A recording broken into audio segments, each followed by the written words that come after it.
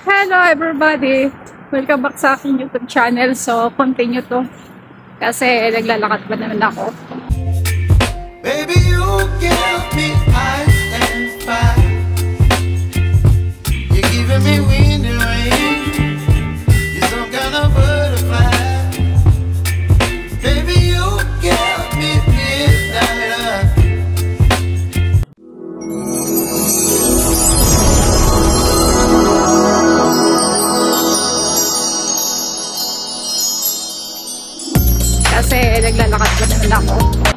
Para magkaroon tayo ng content. So, una sa lahat, marami pong salamat sa sumusubaybay sa aming premiere every Wednesday and Saturday. So, marami pong salamat sa mga nanonood, sa mga nagpapahabol kung wala man sa oras ng premiere namin. So, marami pong salamat. And, mega love shoutout po sa lahat ng dito mo. Ayan. Sobrang napakaswerte ng bawat isa sa amin kasi ah kailangan may video talaga kami. Tuwing araw ng Miyerkules at Sabado.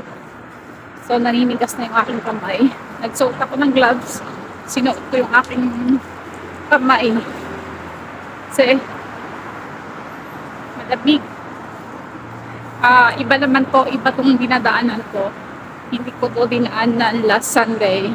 Kasi nga, sa ibang lugar naman kami magkikita ni teacher. So, dito lang naman din, di ba, napapansin nyo, lakad-lakad lang po kasi nga, andito na kami mismo sa sa city. Ah, kumbaga, sabi nga, sisiw lang to kisa Hong Kong. Kasi sa Hong Kong talaga, nag-hiking po kami ng 5 hours, 6 hours, naglalakad sa bundok. Hiking nga, hiking. So, ito, easy lang po kasi andito lang. Lakad lang, 15 minutes, 20 minutes. So, di ba? Maganda sa katawan, exercise. Sa mga mahilig mag-diet, gustong magpapayat. So, lakad-lakad lang. So, magandang exercise yan. Eh, kung interesado talaga na gusto nyo pumayat, kainin nyo po yung wala sugar. Talagang napaka-bilis po magbawas ng timbang. Pakainin nyo wala sugar. Siyempre, hindi na kayo kakain ng may sugar.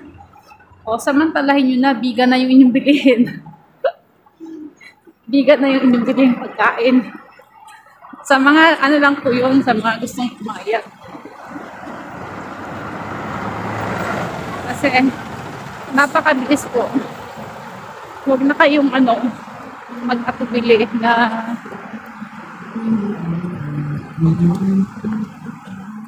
gawin, na gawin. Ah, anahihin ko yung. Kasi nga, syempre, tumitingin ako baka may sasakyan.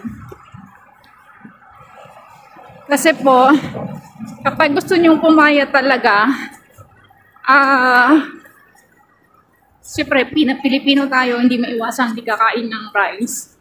So, bilhin nyo po vegan na rice. Kahit makarami kayo, hindi kayo tataba. And then, number one, pakain po kayo ng apple. Hindi sa buong maghapon. Hindi pwede na hindi kayo kakain ng apple. Apple, avocado, egg, and chia seed, chia, and yun lang po, yung basic. Talagang mabilis mabilis mababawasan yung inyong taba. Kasi ako, mahilig po talaga akong sumayaw. No ako estudyante pa, ah lumalaban po ako ng dance contest, individual. So, ibig sabihin, mag-isa lang po ako solo. So, hanggang sa ako'y nagdalaga, teenager hanggang sa edad ko siguro mga 17, ganyan. Talagang lumalaban po ako ng, ng sayaw. So, yun, nakakapag-uwi ako ng ano, nakakapaghakot ako ng premyo sa bahay. At yung mga matatanda, tulad ng mga ah, kapitan, konsyahan, o yung mga kila-kilalang mga nanay, pupuntahan ako sa sa bahay at pagpapaalam sa aking parents na ako iniimbitahan nila na pupunta sa isang barangay at lalaba, ilalaban nila ako sa sa muse. Um, minsan sa sayaw. So ayun kaya hanggang ngayon po sa pagtanda ko dala-dala ko na yung kinahiligan kong mahilig akong sumayaw so ito pong video na to napapanood ng aking hipag, ng aking kaibigan, ng aking classmate. So, alam po nila na yun na nga, kinahiligan ko ng sumayaw. Kaya kahit may edad na tayo, ah sumasayaw pa rin. Pero ngayon lang po to, ngayon lang ako sumayaw nung nabawasan yung aking timbang.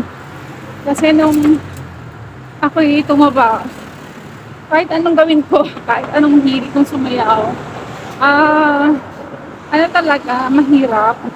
Kasi mabigat yung katawan. Mahirap sumayaw kapag mabigat yung ang katawan. Ngayon, sige, banata natin yung sayaw na yan.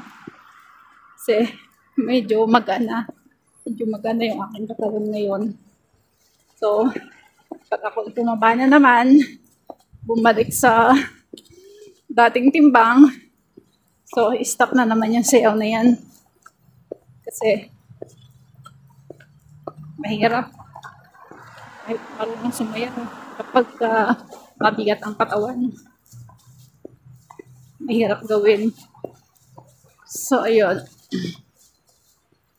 Enjoy lang natin yung ating light. Enjoy light habang malakas.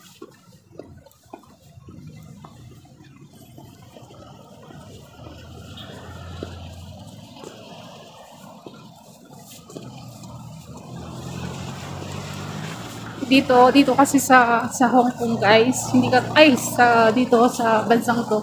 Hindi katulad sa Hong Kong. Kasi sa Hong Kong ah dadayuhin mo talaga. Sample andun ako sa Taiko papunta ng Central papunta ng Shatin papunta ng kahit saan saan gusto pumunta dadayuin mo talaga So, ngayon, na nandito na ako, dito lang po ako paikot-ikot sa mismong city. Kasi kung may gusto kang dayuhin, gustong i-vlog, ah, ano po yan? Lalabas ng city. Kasi dito sa city, wala ka naman i- iba-vlog na. Kaya ito, lakad-lakad na lang.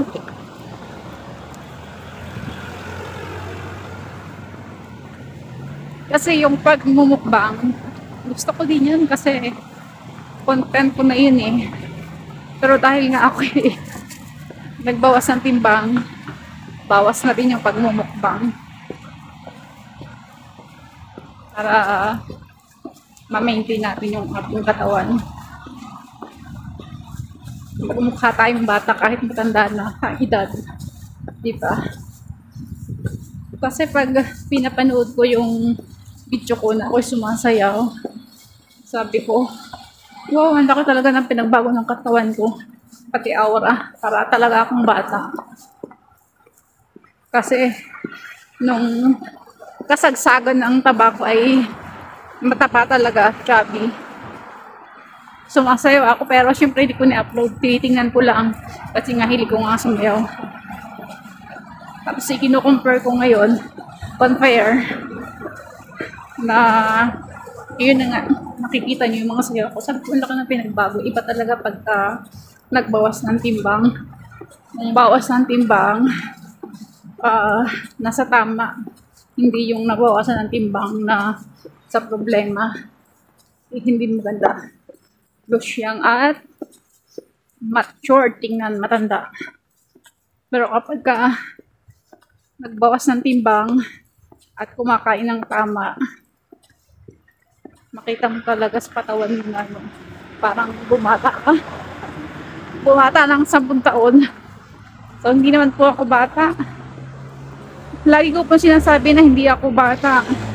Kasi, marami po ako na akong nabuksan na, na account. Mga account nyo.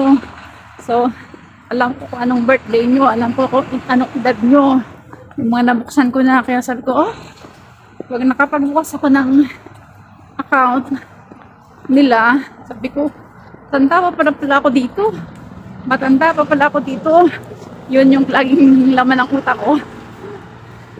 Yun yung sinasabi ng utak ko. Matanda pa pala ako dito. So, yun. Pero, hindi naman halata sa mukha ko na matanda na. Char. Kasi parang ano, kasi ang dami nagsasabi pagka dito, dito po ah. Pag may nakikita sa may nakakakita sa akin mga Pinay, yung first time na makita. Tapos, tatanay ng edad. Ha, nagugulat sila. Ganun. Kala ko ano, matanda ako sabi nila. Matanda pala ako. Ano lang. Sa mukha lang. So, ayun, malapit na ako ak sa akin pupuntahan. Nagtsaga kayong sumama sa akin.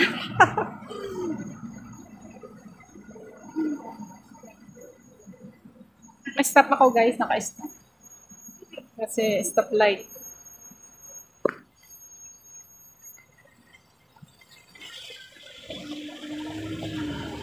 Dalawa akong kamay, sinuot ko na talaga sa aking gloves.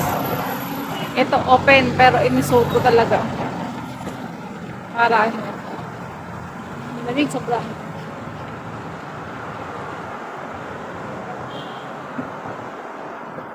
So, thank you so much po sa pagsama sa aking paglalakad. Talig na tayo. Ah, malapit na rin naman ako sa aking pupuntahan. Ah, minisage niya ako. Sabi niya sa akin, dito tayo magkita. Sabi ko, papalit ng dollar. Papapalit daw siya. So, ayun. Kaya, sa Nomen ko siya pupuntahan, guys. Sa Nomen. Di ba nakikita nyo yung video ko before? Ang bilog-bilog ng face ko. Tsaka ang taba. Imagine, na ako yung asawang kong 57, 58. Nung pumunta ako dito, naging 60 plus. 62, 63. Yung 58, masaya na ako sa 58. Nung dito ha, dito po. Tapos umuwi ako. Hala, grabe, pagbalik ko. 65. Pero simula bata hanggang sa nagtidat po ako ng ganito, yun po talaga yung pinakamataas kong timbang, 65. Galing ako sa Pilipinas. Kasi kahit ako chubby, yun po talaga yung pinakamataas kong timbang, 65. Pero imagine ngayon, laka nang nawala. Ay, nakakatuwa. So, marami pong salamat sa inyong lahat sa pagsama sa akin video na to, sa pagsama sa akin paglalakad. So, dito tinatapos ko na po yung aking video. Marami pong salamat. So, kayo bago pa lang sa aking YouTube channel, huwag kalimutan mag-like, comment, share na aking video, and subscribe na. Bye!